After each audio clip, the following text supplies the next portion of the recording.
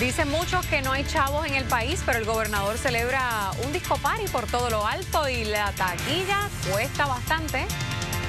Alejandro García Padilla tendrá un disco party este próximo viernes para recordar la época de los 70 y 80 y de paso recaudar fondos para su comité de amigos del gobernador. El evento para recaudar fondos para el líder del Partido Popular Democrático será en la discoteca Brava del Hotel San Juan. El costo de entrada es de 350 por persona o 500 por pareja.